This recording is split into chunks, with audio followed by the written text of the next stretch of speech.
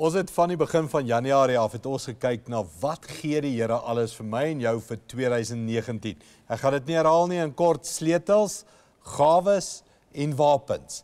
Dis iets van hy hy gee vir ons uh, uh, hierdie hierdie geleenthede om 'n verskil te maak met ons lewe. Maar 'n geleentheid begin altyd waar met 'n probleem, né? 'n uitdaging, 'n 'n challenge, as ek daai woorde kan sê. Dawid sou niemand gewees het as daar nooit 'n Goliat gekom het nie. Jy ken daai storie, né? Elke probleem is eintlik nie 'n probleem nie. Dis 'n geleentheid. Nou nou dis 'n tipe persepsie uh wat ons praat van 'n mindset, 'n uh, 'n uh, manier hoe jy dink oor die lewe wat nou tel. As jy die die oproep kry, slegte nuus kry, die die prokureursbrief, die doktersbrief, die werk, die dissiplinêr, die skool, en dis hierdie boef, hierdie slegte nuus. Kom ons wees eerlik. Die wins uit ons seile uit. Ons voel nie dis 'n geleentheid nie. Ons voel nie dis regverdig nie. Ons is nie nou lus vir die challenge nie. Ons is nie nou lus om met kanker te beklei nie. Ons is nie lus vir die egskeiding. Ons is nie lus vir die kinderprobleme en die emosie. Uh, ons wil dit eerder net weg hê.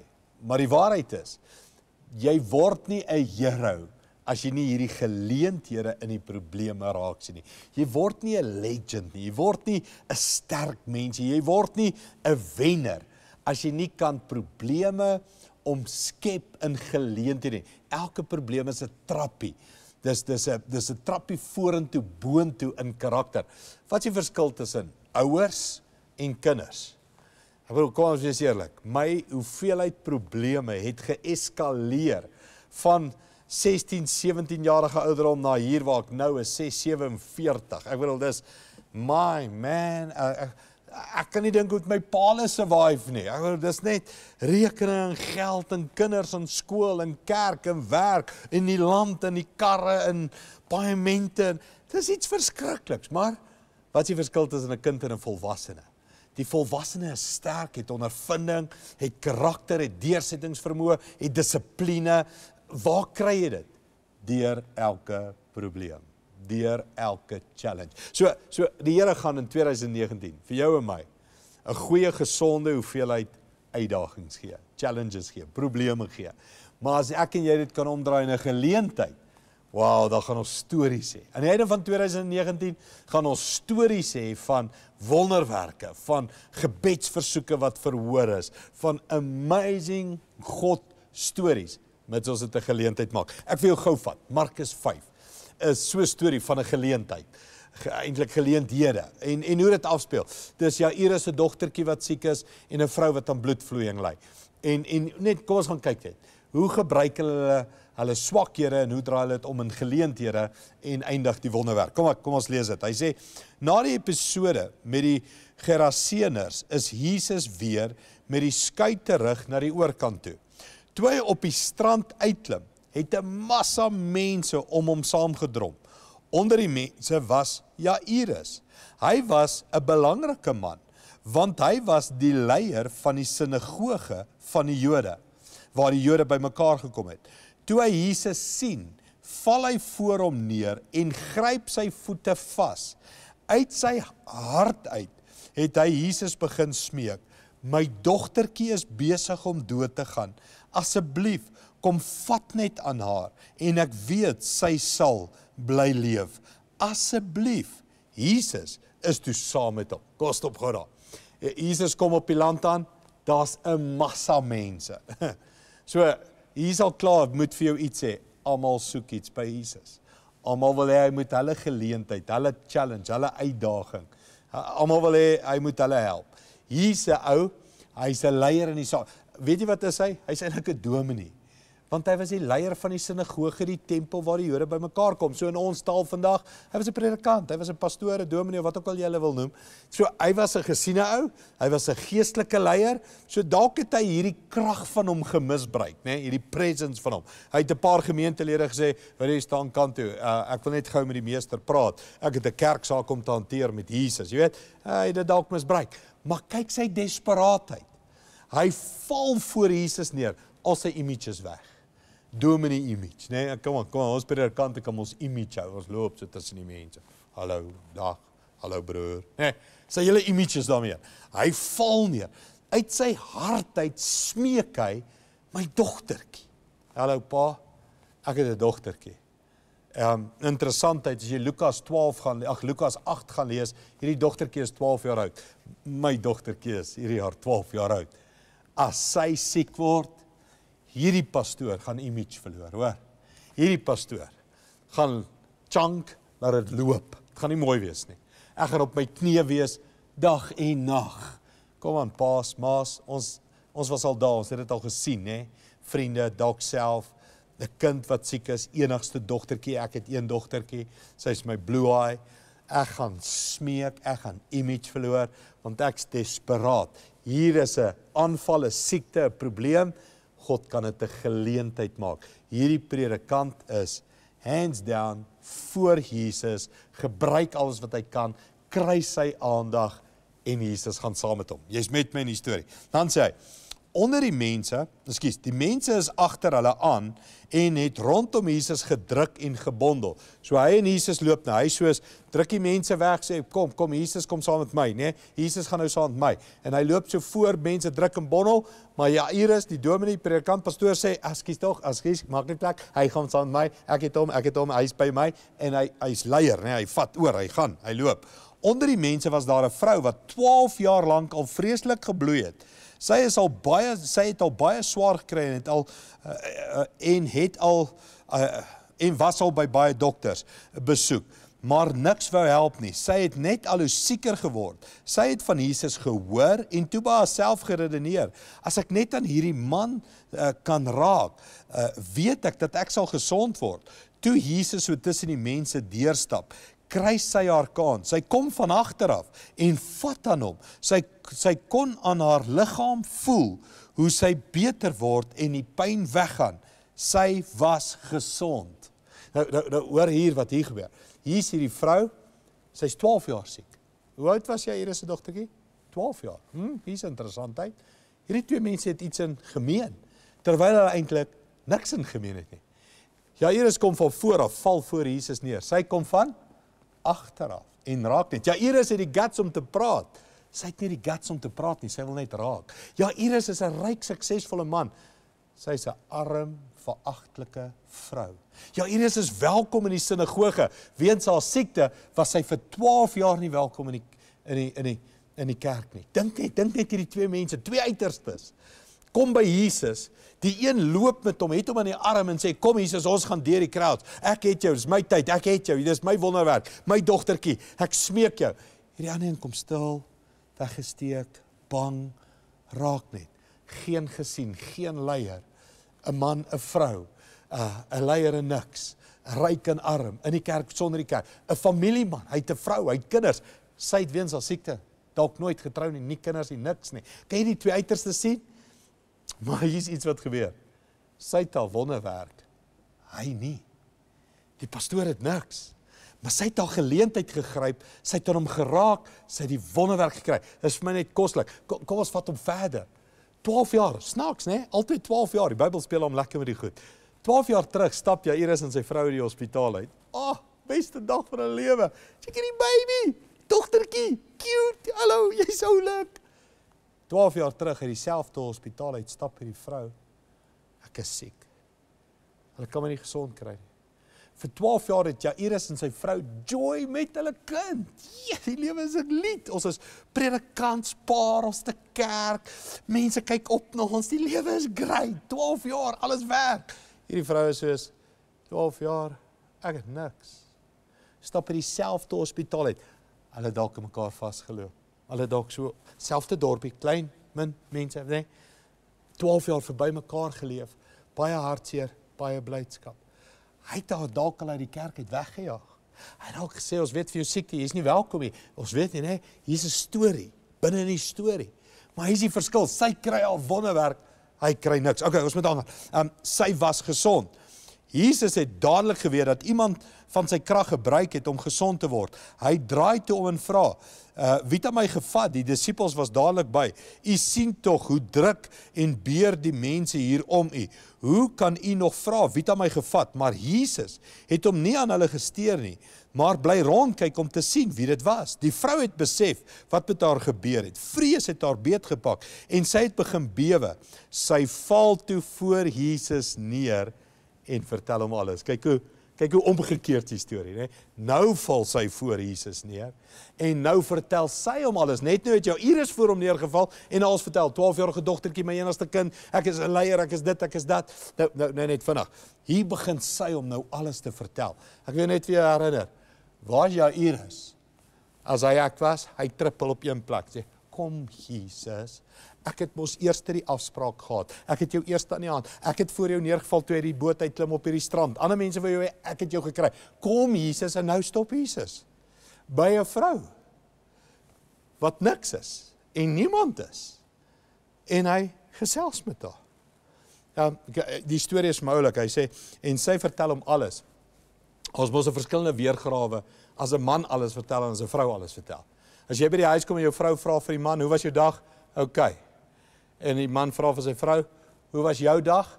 Dan sy kos koud. Ek bedoel, sy vertel jou alles. Hallo. en hier staan Jesus. En sy vertel hom alles van 12 jaar. So swaar kry en pyn. En agter Jesus staan Jairus. Hallo, ek het 'n afspraak, ek het 'n geleentheid, ons moet 'n wonderwerk hê. Um wat vir my baie oulik is in hierdie storie. Sy het haar wonderwerk en sy tweede gekom. Ja, Iris het eerste gekom en hy het nog nie sy wonderwerk hê. Was jy al in stories in hierdie lewe waar ander mense wat na jou in die kerk gekom het of Christen geword het of alles, hulle goed werk uit en jou goed werk nou nog jy uit nie? Hulle huweliks gefiks jou nou nog nie. Hulle het hulle werk gekry, jy het nog nie. Hulle het gesond geword, jy het nog nie. Daar's niks so erg. Daar's niks so erg om te sien hoe iemand anderster al die wonderwerk kry wat jy graag wil hê nie. en jy dink jy verdien hom. Jy dink ja, ek wil hom nou hê. Dit het so rukkie terug met my gebeur, vinnig 'n storie, vinnig vinnig. Ek wil my huis verkoop en 'n kar verkoop en klomp goed doen, bla bla bla. En 'n pel vir my bel my sê jy, jy sal nie glo wat gebeur nie. Ek stop haar so en hy kom staan om my kar. Ek sê wat kyk jy? Hy sê nee, ek hou van jou kar. Ek sê wil jy hom koop? Hy sê ja, okay, hoeveel wil jy? Hy sê soveel. Hy doen die transfer die geld. Hy my kar is verkoop. Ek sê liewe Jesus, maak dit gevra om my kar verkoop. Daar my pel wou nie eers sy kar verkoop nie en daar gee jy vir hom 'n wonderwerk. What about well, actually predika actually hier is. ek sê nie my pel was die stoute vuil ou vir 12 jaar nie, maar uh, het jy al gesien as iemand anderster 'n wonderwerk kry wat jy wil hê? Né? Nee, hier is die storie. Jesus sê toe vir haar: "Jou dae van seer kry en swaar kry is verby. Omdat jy my so vertrou het, sal die siekte jou nooit weer pla nie. Gaan lewe voluit sonder die pyn en bekommernis." Ag, lekker storie. Jesus was nog besig om met die vrou te praat toe 'n paar mense van Jairus, die leier van die sinagoge, se huis af daaraan kom. Hulle het slegte nuus gehad jou dogter is dood. Los vir Jesus. Moet hom nie verder pla nie. Jesus het dit gehoor en vir jou Iris gesê: Moenie dat dit jou ontstel nie. Vertrou my net. Net net vinnig. Was jy al by iemand wat daai nuus gekry het? In my beroep was ek al. Ek was al by die hospitaal waar die dokter uitkom en sê: Jammer. Skoon niks doen nie. 'n Kind in 'n swembad geval, kind in 'n operasietafel. So kan ek aan. Daai ouers se gesig, daai daai verslaandheid, daai magteloosheid, daai nee. Dalk dink hy as u nie by hierdie verdomde vrou gestop het nie, sou my kind nog geleef het. As as as jy net gedoen het wat ek gesê het, ek het die skare weggestamp, ek het jou deur hulle gehad. Ons was amper daar. Nou stop jy by hierdie vrou en sy sy is vuil vir 12 jaar. Sy's nie eens welkom. Sy sy's 'n niks, sy's 'n niemand. Ek's ryk, ek het gesag. Wow, wat 'n storie. Jesus sê vir hom, ja, Hey, ontspan. Ek's in beheer. Ek weet wat ek doen. We gonna fix this. Mense, ja, wat 'n storie, né? Jesus was uh, uh hy sê, Jesus saam met uh Petrus en twee broers Jakobus en Johannes is toe alleen verder. Jesus wou nie hê dat al die mense moes saamgaan nie. Toe hulle by die Jairus se huis aankom, was daar 'n groot klomp mense wat vreeslik huil en rou. Hulle het vreeslik te kere gegaan en lawaai gemaak. Jesus gaan toe in en vra vir hulle: "Vir wat gaan julle so te kere? Die kind slaap net. Sy is nie dood nie." Die mense bars toe uit van die lag asof Jesus nie weet wat hy sê nie. Hy jaag toe al die mense uit die huis uit, behalwe die ouers en sy drie volgelinge. Saam is hulle na die bed van die dogtertjie toe. Jesus vat die dogtertjie se hand en sê Talita kum. Dit beteken dogtertjie, ek sê staan op. Die dogtertjie het dadelik opgestaan en tussen hulle rondgestap. Sy was 12 jaar oud. Jesus vra toe dat iemand vir haar kos moet gee. Die mense wat daar gestaan het, was totaal uit die veld geslaan. Jesus het hulle baie mooi gevra om nie vir enige iemand te vertel wat daar gebeur het nie. Kom ons maak hom klaar. Hier kom Jesus by die huis. Hy vat net vir Jakobus hulle saam, drie ouens saam, Petrus, Jakobus, Johannes. En hy kom daar en hy sê vir die mense wat geen hulle so te kere is, rente rente crowd moaners, nê, nee, huilers, nê, nee, en hulle sulk. En Jesus sê sy slaap net en hulle lag hom uit. En hier kom vir my 'n groot punt wat jy moet nou moet hoor. En Jesus jaag hulle uit. Die die Griekse woord vir jaag fisies met force. Jaag hulle uit. En hier's 'n groot wat jy moet hoor. As jy jou geleenthede in hierdie lewe, jaar, tye wil gebruik, moet jy dalk eers van sekere goed ontslaa raak voordat jy kan opstaan. Voordat hy kon sê dogtertjie staan op, moes hy sê julle gaan uit. In Engels get out before you can get up. En baie keer is dit waar vir kerke, daar's lidmate wat must get out.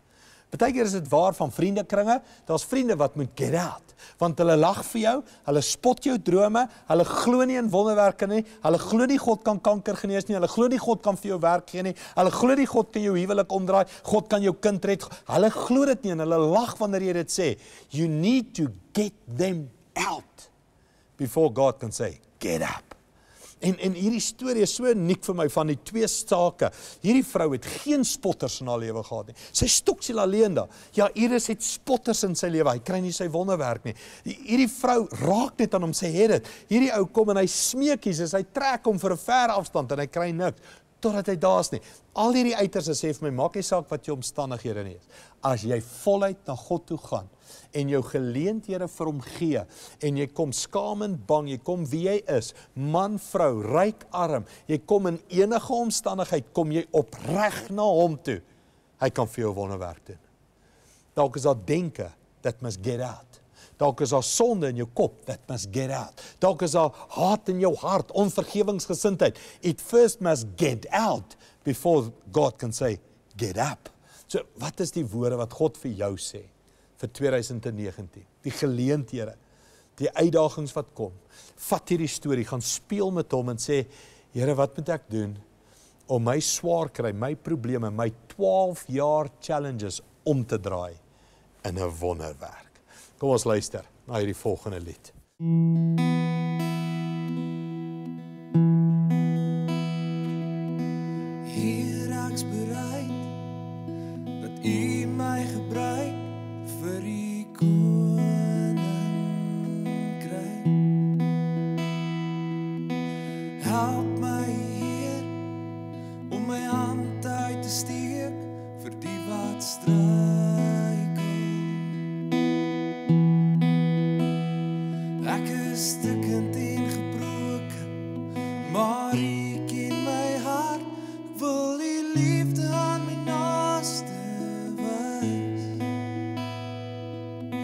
my hande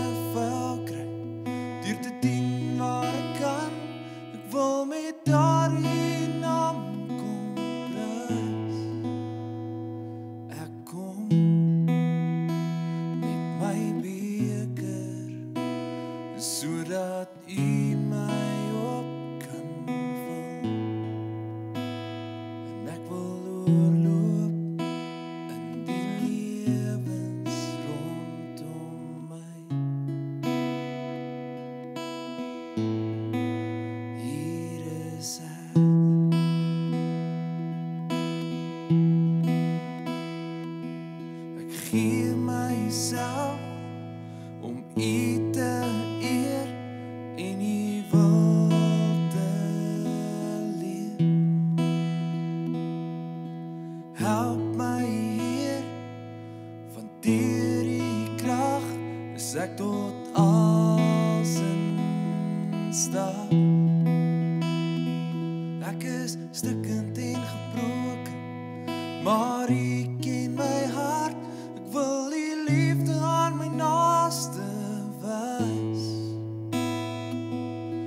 hande vuil kry deur te dien waar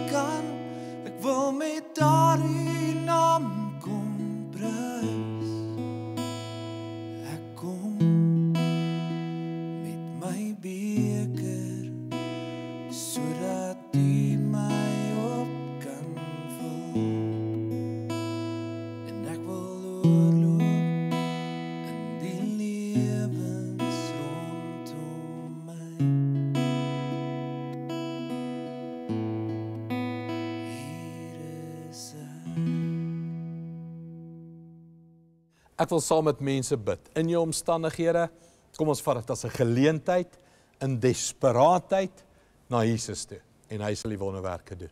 Hemelse Vader, ons ons is in hierdie storie, die man of die vrou, die ryk en die arm, die maklik en die moeilik, die 12 jaar. Ons is hier en ons kom desperaat na U toe en ons weet U kan enigiets doen. Wys ons wat moet uit voordat ons kan op. Wys ons net hoe moet ons glo en vertrou en alles is by U moontlik. Dankie daarvoor Here in Jesus naam. Amen.